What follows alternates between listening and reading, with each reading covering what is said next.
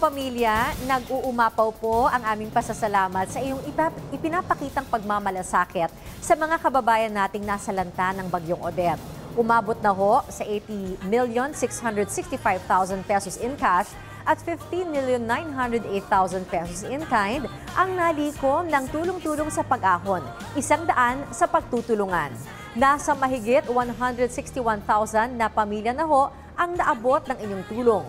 Muli po, Maraming maraming salamat, kapamilya!